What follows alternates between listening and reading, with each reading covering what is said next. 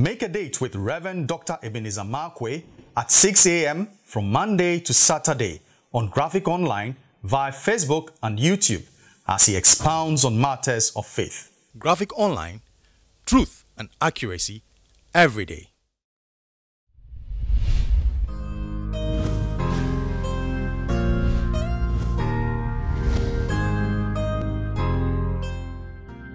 This is Reverend Dr. Ebenezer Markwei of Living Streams International bringing you matters of faith with Graphic Online. I'd like to capture my thought this morning with the words Only the lonely. Only the lonely.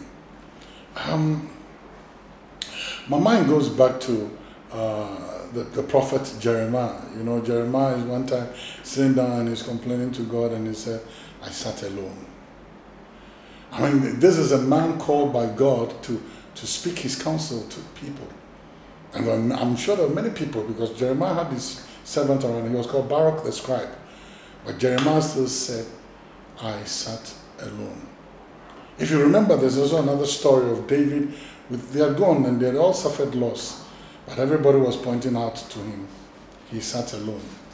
And for me, the story, the real story of this is Jesus going to the Garden of Gethsemane with his prayer warriors and with people he believed in, with people he thought they, they should be there to stand with him, they should be there to go through with him. And when they went there, they slept. And so, whether Jesus liked it or not, and he didn't really like them sleeping, because he came back to remind them, I brought you here for a purpose. But hey, only the lonely. And whether you like it or not, like Jesus, once you're in a position of leadership, there will be lonely moments. There will be moments when the night of, uh, the, you know, of, of the darkness of loneliness will seek to just, just crush your spirit. And when sometimes you, you, you it, it, it's so overwhelming. And sometimes you'll be stretching out to reach out for, uh, for helping hand, you won't get it. Sometimes you take up people you are, you are expecting to stand with you in prayer and everything as prayer warriors they will not. It is one of the one of the pathways of leadership that leadership sometimes has to walk. Only the lonely. And that's when you, you lie on your bed and your head is on your pillow and you'll be wondering, where is everyone? And that's when you might even lie on your bed and then turn, or not even lie on your bed, but when you turn around, you realize that hmm, there has been denial and there has been betrayal. Only the lonely. It is a pathway that every leader must must walk one way or the other. You have to walk where, in, in, in pathways where, my, my goodness, sometimes people you think should know better will not know better.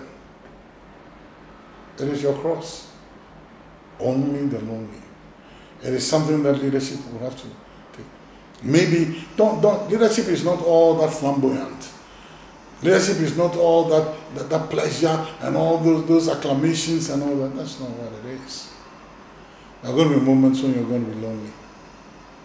And you need to remember that when you think you're alone, or when everything else is, there's a God up there who is for you. Only the lonely.